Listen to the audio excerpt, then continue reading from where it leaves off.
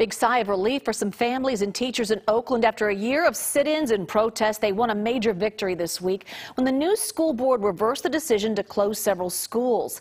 District officials said it was necessary to shut down these five schools next year to balance the budget as it faced declining enrollment. Well, now all of them will stay open. And Da Lin reports there are differing opinions on whether the district can handle the financial consequences. I literally was crying like the whole night. Happy tears when mom Christina Visi and her son Jordan found out their school, Carl B. Munck Elementary, is saved. Carl B. Munck feels like community. It feels like home.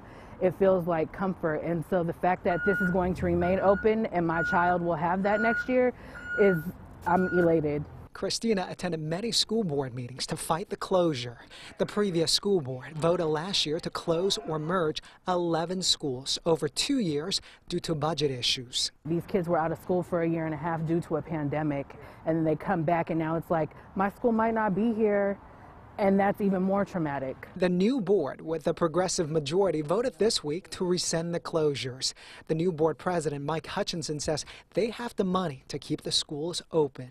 The last thing I will ever do is bankrupt the school district that I love and our financial health is sound. And so this is why we are able to move forward in these sorts of ways. He blames years of financial mismanagement for previous budget shortfalls. The district is still under receivership because the state took it over after Oakland Unified ran out of money 20 years ago. While the district is projected to be financially stable for the next two school years, experts say that's due to one-time pandemic funds.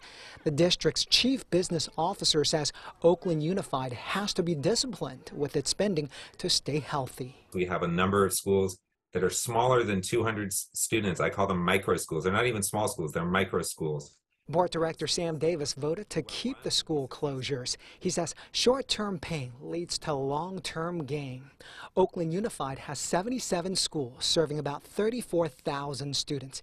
In comparison, Fremont Unified has 41 schools and close to 33,000 students. San Jose Unified also has 41 schools serving 30,000 students. And Stockton has 54 schools serving about 36,000 students. It's apples and oranges. We do not have a problem with being able to fund our school district. When you have, have 77 schools, you divide the pie up into 77 slices.